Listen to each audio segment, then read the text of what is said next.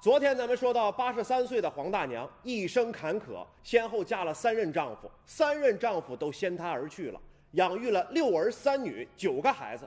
可是养老却遇到了难题儿，找二儿子，二儿子避而不见；遇到二儿子的儿子，也就是自己的亲孙子，怎料话不投机，孙子也扬长而去。大伙儿是左等右联系，终于见到了黄大娘的大孙子。老儿子、大孙子，老太太的命根子。命根子一露面，又会给出什么样的说法呢？黄大娘一生辛劳，三次婚姻养育了六个儿子、仨闺女，老了老了，却遭到这样的待遇。那你为什么没去大儿子家呀？这不行啊，人家不要。本想着找到儿子说道说道，哪成想没找到儿子，亲手养大的孙子竟然这样说话。那你这样吧，你给你爸打个电话，电话我在电话里沟通沟通怎么样？黄大娘含辛茹苦养大的儿子，亲手带大的孙子，这一家人为啥如此对待一位老人呢？这里到底有啥不为人知的隐情呢？我们还没等表达我们的想法时，黄大娘的大孙子首先开始抱怨起自己父亲生活条件的不如意。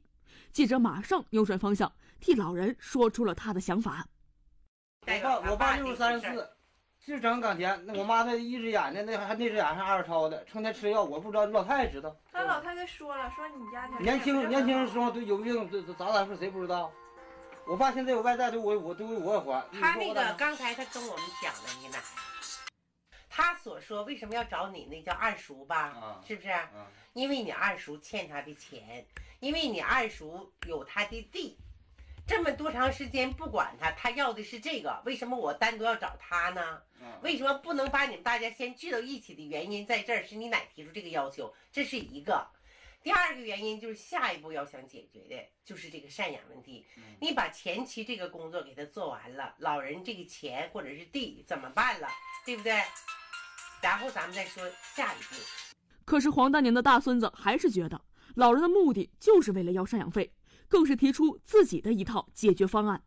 老水这一波，老刘一波，对不对？嗯，你你几个闺女几个儿子找到一起叫他一起，你管找到我们小辈儿的，你说我们我们咋整？我跟你说句难听的话，最难听的话，现在假如说我去了，我二叔那块跟那跟跟跟那个我弟弟那块，你说我往下的关系我怎么我们怎么处？那有啥不能处的呀？你们都为了你奶呗？什么叫处他不处？不是说为我奶奶上有儿下有。女的，那你说我咋解释？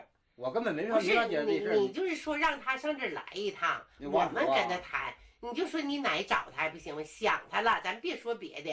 对 呀，那那不可能的事儿。豆包踩一脚，感觉这也不是啥好饼啊。大孙子一提起赡养奶奶的事儿，咱们这一听，这话里话外没啥好气儿。总结起来就是两样不行，这也不行，那也不行，把脑袋摇得跟拨浪鼓似的。这也太不像话了。这才哪到哪呀？更不像话的还在后边呢。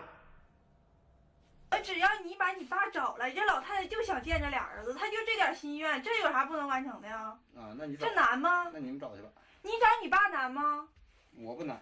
那你把你你不来爸找你找来呗呗，把你爸请来吧，好不好？请请这个，就我跟你说句难听话，老老头到这嘎肯定就吵起来，我就告诉你。跟谁吵啊？跟我们吵啊？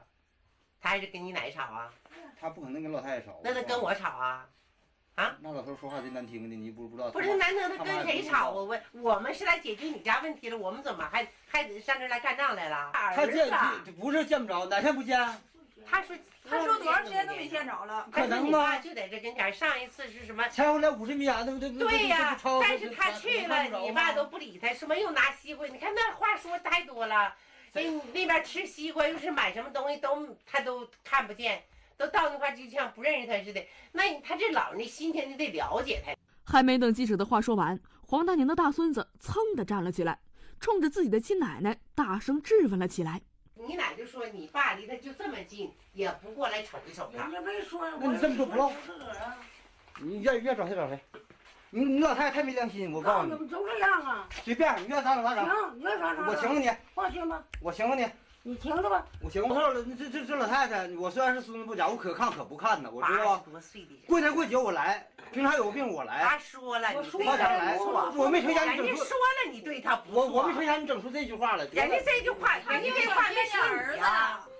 小孙子有去无回，大孙子只有一走了之，大儿子、二儿子又避而不见。面对这样的情况，黄大娘的情绪再也无法控制了。一个八十三岁高龄的老人，一个三婚三嫁的女人，一个辛辛苦苦养大了九个孩子的女人，一个从没有被生活压垮的老人，此时落下了伤心的泪水。别哭了，你这还有这么多孩子呢，这个命啊！就那一个不孝心，这么多不都挺好吗？这多挺好的，这我行啊，那我都不。现在就不能想那些了，你都这个年龄了，你就怎么高兴怎么活着吧。黄大娘跟第一任丈夫一共有三个儿子，其实黄大娘也并非是存心和这三个儿子过不去，因为他们的两个亲妹妹以及黄大娘跟第二任丈夫刘老汉所生育的三个儿子和一个女儿，每年都会按月给老人付赡养费，一分都没有差过。只不过是老人实在是想不通，为什么自己的亲骨肉竟然连基本的孝道都不尽，甚至连面都见不上一面呢？他确实是心有不甘呐。我说呀，石广珍呐，头二年还来看看我了。我说石广珍呐，你给我两个钱儿呗，妈吃又抽烟，喝这头药。妈这都来这嘎都八十了，你也没给妈一分钱，不来了。老猫房上睡，一辈传一辈。咱们看到了大孙子和小孙子的所言所行，其实也就明白了黄大娘大儿子、二儿子以往对老娘是什么样。说实话，挺替大娘寒心的。赡养老人是法定义务，真较真儿的话呢，他们耍赖也不好使。此情此景，真是让黄大娘很伤心。这个时候，一直陪在老人身边小女儿的儿子，也就是黄大娘的外孙子，实在按耐不住了，说出了自己的想法。我说话是有点发怒，也是给我气的。啊我两家不管怎么，他们谁对我老咋样，我还对我老还怎么记孝心，还对对对对对，就是他们两家不管怎么躲，以后我还得找他们这两家。嗯，话我就说说你。就是说，今后你还得对你老像以前那样，我现在我我有本来我就没做亏心事儿，嗯，我始终对我老还是一个好。就不管他们儿子管不管不管啥样，就是你这个外孙子对一定要做到位，和以前一样对你老这样，啊是不是？对对，那就是说让你老放心，啊没有人管你，外孙子也要管你。让我们感到欣慰的是，老人的外孙还是十分孝敬的，他也答应我们会照顾好自己的姥姥。即使我们无法联系上老人的大儿子、二儿子和三儿子，有了外孙子，也是老人小女儿的这份沉甸甸的承诺，老人接下来的晚年生活，相信也就有了可靠的保证。随后，我们和黄大娘的外孙一同来到了当地村委会，希望在村委会的帮助下，能够继续达成老人的心愿。通过你们这个来以后呢，记这个市民的情况呢，我才了解，过去不知道这个花雅真老人也不是我们村民，但是通过这个事情呢，做我们凤舞村的这个村主任也好，村官也好，我们呢会协助他积极的、主动的去找到他的儿女，我们尽尽尽可能做我们的工作，是吧？争取着让他们家庭呢能够和睦，能够达到赡养老人的目的。嗯，让老人度过一个安度的晚年，已经都八十多岁的人了，是是吧？啊，就是说通过这个小小的这个渠道找到他们家人。在众人的劝说和宽慰下，黄大娘的情绪稳定了许多。毕竟自己大多数的儿女都很孝敬自己，她也对现在的生活很知足了。然而，就在我们即将和老人分开的时候，老人突然提出了一个请求，他希望通过我们的镜头跟大儿子说上几句话。周光虎啊，你来吧，妈有点事让你瞧，妈想你了。让亲妈如此伤心，这就是没有尽到孝心。大儿子、二儿子也可能有自己的理由、自己的难处、自己的想法，但是不管怎么说，有话你得跟老妈当面说。